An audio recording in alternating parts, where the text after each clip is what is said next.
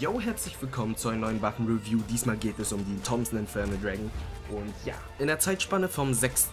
bis zum 12. Februar oder vom 5. bis zum 12. Februar, da schaue ich nämlich immer noch nicht ganz durch, äh, war eben halt diese Sale-Periode, da die, die eben halt in dieser Zeitspanne gekauft haben, also die Thompson Inferno Dragon, haben die zu einem reduzierten Preis bekommen, also ungefähr 15.500 1000 ZP weniger, also 59.500 ZP.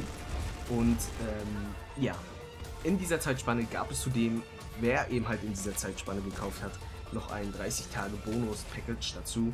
Und ja, nach der Spanne, also eben halt 13, 14. und auf, kostet sie jetzt 85.000 CP. Natürlich ist die Inferno Dragon permanent, ganz klar, aber dieses 30-Tage-Package, äh, das ist natürlich nur für 30 Tage. Aber äh, da kommen noch nie zuvor gesehene Waffen vor, und zwar naja, okay, ist nicht wirklich eine Waffe, aber eine taktische Leistung. Taktische Leistung? Nein, taktische Gear-Ausrüstung, keine Ahnung. Ja, auf jeden Fall der Yellow Smoke, 30 Tage Spot Elite, hat irgendwie so einen besonderen Skill, was auch immer. Ähm, und eben halt die Scar Heavy Red Dragon. Darüber habe ich schon ein Review gemacht, schaut einfach mal bei meinen neuesten Videos nach. Und ja, gut.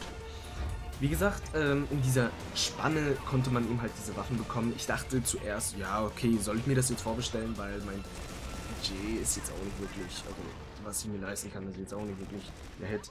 Äh, und ja, okay, ich dachte zuerst, da wäre die Scar Light wieder drin, also Scar Light Red Dragon, aber das war's nicht. Also da habe ich mich gewundert, hä, Scar Heavy Red Dragon? Ist ja cool.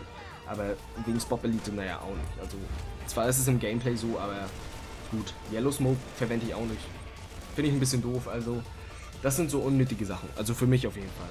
Weil im Großen und Ganzen achtet man eigentlich gar nicht mehr auf den Charakter, Charakter, Charakter, Charakter, Skin oder sonst wie was. Äh, oder eben halt auf Yellow Smoke, weil Yellow Smoke verwendet man, wenn dann nur, denke ich mal, wenn man jetzt ein bisschen auf einer Team Deathmatch Map ein bisschen mit dem Smoke hier rumtrödeln will. Aber wie auch immer, kommen wir zurück zum Review, also worum es geht, um die Thompson Inferno Dragon. Auf jeden Fall die Bonis der Thompson Inferno Dragon ist, dass eben halt jede SMG, die ihr im selben, nicht im selben Bag habt, aber im Bag habt, ähm, also wenn überhaupt die Inferno Dragon in 1, 2, 3, 4 belegt ist, also in dem Bag, äh, dann und ihr dann noch eine SMG irgendwo reinpackt, 1, 2, 3, 4, je nachdem, zumindest nicht im gleichen Bag, ähm, dann äh, bekommt ihr noch einen Bonus an Munition für die SMG, aber auch alleine für die Thompson Inferno Dragon, also äh, plus 7 Munition.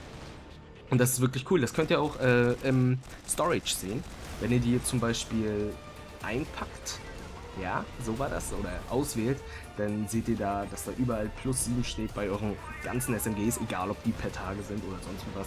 Also ist auf jeden Fall witzig, da könnt ihr mit P90 oder Thompson, die normale Thompson, durch, durchheizen, also so ist nicht. Zudem, die Feverball lädt sich schneller auf, damit bekommt ihr mehr Fapping Points, FP Points, wie auch immer, äh, durch weniger Aufwand und Zeitaufwand, na klar.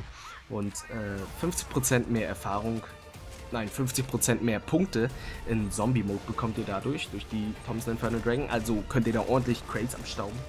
Und 200% mehr Erfahrung für euch selbst, natürlich pro Spiel. Also bekommt ihr ungefähr, wenn ihr zum Beispiel pro Spiel 200 Erfahrung macht oder 400, dann bekommt ihr eben halt das Doppelte davon. 30% mehr Erfahrung bekommen die Spieler, die eben halt im selben Spiel sind, also im selben Raum, Game, wie auch immer. Und 20% mehr GP bekommen sie. Natürlich äh, stapelt sich das, also wenn da zwei VIP-Spieler sind, dann bekommen die 60% mehr. Also ganz klar, wenn ihr auch ganz viele andere Infernal, Dragon, keine Ahnung, auf jeden Fall VIP-Waffen habt, die haben ja jeweils 200% mehr Erfahrung.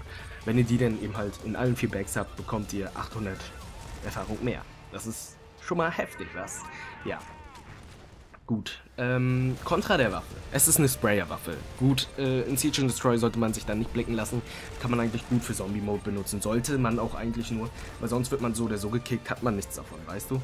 Äh, oftmals wird man angeschrieben, ja, okay, das sind aber Scammer. Die versuchen dann einen eben halt abzuziehen mit, hey, gib mir deine Account-Daten, ich mach dir CP rauf oder ich geb dir alle Royal Dragon Waffen. Ja, das mache ich. Nein, Gut, muss man nicht drauf reinfallen. Ich wäre da fast mal drauf gefallen, äh, drauf reingefallen, weil, äh, kommen wir später dazu, zu einem Let's Play, ja. Okay. Ähm, manchmal hat man aber auch ungenügend Munition, weil wenn man die ganze Zeit da durchheizt und durchsprayt und dann mal Glück hat, dass man dann am Leben ist, äh, dann hat man bald keine Munition mehr. Also man könnte sich natürlich ein extra Magazin holen, dann hätte man nochmal 77 Munition mehr, aber wozu? Dann kann man die einfach wegwerfen und dann normale Waffen nehmen von den Gegnern, die man getötet hat.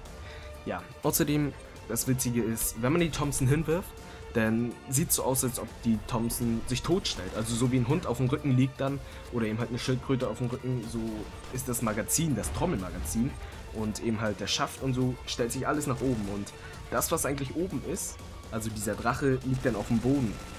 Also alles Kopf über auf dem Boden liegt das dann. Das sieht so beschissen aus, aber okay. Was sich da Crossfire gedacht hat, kann ich mir auch nicht erklären. Gut, kommen wir zu den Stats. Also, mm, es ist eine SMG. Weiß ja jeder, sicherlich. Gut. Und SMGs sind ja eigentlich leichte Waffen, recht leichte Waffen. Und es spielt sich auch eigentlich wirklich gut mit der. Also, ich muss schon sagen, Gut, davor habe ich mit der Thompson auch ab und zu gespielt, in meinen Noob-Tagen, ja. Ich bin so einer. Aber gut, wurde auch oftmals gekickt, weil ich ja eine Noob-Waffe benutzt habe, aber eigentlich finde ich die ganz okay. Also SMGs sind so oder so gemein, also egal welche. Sind alle gemein, selbst die Uzi ist gemein. Aber wie auch immer. Äh, gut, die Thompson, äh, ich kann euch sagen, die Munition, wie gesagt, 77 zu 154, ist eigentlich mehr als man braucht. Also wer jetzt wirklich so viel braucht, um ein, zwei Gegner runter zu schmettern, das ist wirklich ein bisschen peinlich. Aber egal. Ähm, die alte Thompson, die braucht ja 4,1 Sekunden und das ist verdammt lange, wenn man so überlegt. Ja, der eine sprayt mich down, trifft mich dann nicht und dann trifft er mich doch mit der letzten Kugel in die Fresse. Und ja, also 2,1 Sekunden, damit ist sie 0,3 Sekunden schneller als die normale M4 oder AK. Und das ist wirklich geil. Also, ich meine schon, hm, gut, sollte ich jetzt die alte Thompson nehmen, nur mit 60 zu 120 Munition, oder doch die Thompson Inferno Dragon bekommt 200% mehr Erfahrung und bla bla bla, alles Bonus. Und ja, auf jeden Fall, es lohnt sich auf jeden Fall, die Thompson Inferno Dragon zu holen. Es macht auf jeden Fall Spaß mit der. Und naja, okay, ich finde jetzt dieser Drache ist ein bisschen zu übertrieben. Gut, muss jeder wissen, wie er es sieht, aber okay. Leer geschossen ist sie in 5,2 Sekunden, also 77 Bullets in 5,2 Sekunden. Reload Time beträgt 2,1 Sekunden, wie gesagt. Und auf den Kopf, also von der Close Range, macht sie ungefähr 72 bis 91 Damage. Ähm, auf den Oberkörper macht sie dann ungefähr an die 21 bis ungefähr 27 Damage und auf den Fuß oder auf die Füße, auf den Unterkörper macht sie ungefähr dann an die 12 bis 15 Damage. Das ist nicht wirklich viel, aber okay. Man hat 77 Bullets. Da kann man doch ruhig durchsprayen. Naja, ihr seht ja auch oftmals, dass ich nur durchspraye. Also wirklich One-Tappen oder sowas kann man mit der Thompson nicht, da sie eine SMG ist und es ist nicht wirklich sicher, ob er schon angefragt ist, damit man ihm dann mit einem Schuss wirklich den Rest geben kann. Aber gut. Muss man sehen. Also, ja, auf jeden Fall, Pro ist deutlich, wie gesagt, deutlich schnelleres Nachladen, ordentlich Munitionsbonus, also 17 Bullets mehr als die normale Thompson. Und ähm, gut zum Durchsprayen auf jeden Fall, aber man wird gekickt, das ist natürlich wieder ein Kontra.